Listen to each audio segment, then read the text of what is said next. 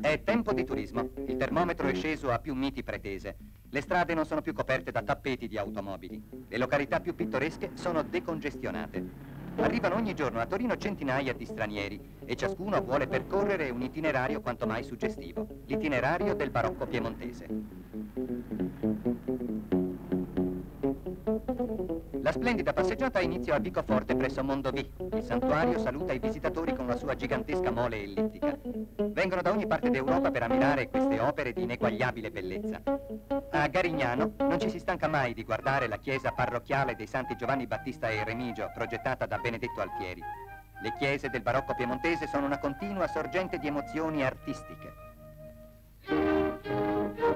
Sono i poemi di pietra scritti da poeti dell'architettura. Il nostro itinerario, fin troppo breve, si conclude a Fossano, davanti alla chiesa della Santissima Trinità, costruita da Francesco Gallo nel 1733.